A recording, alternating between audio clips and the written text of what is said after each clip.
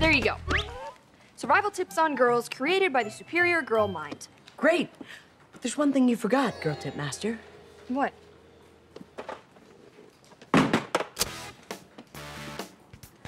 If you're a guy who's confused about girls, check out these tips. Girls like honesty, not phoniness. So always be yourself.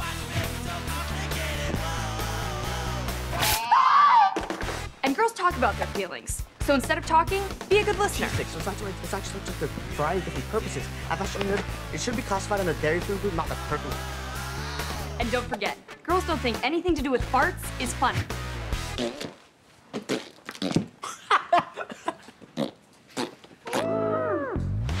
to meet girls, get involved in activities girls like. Art, home ec, yearbook, and choir.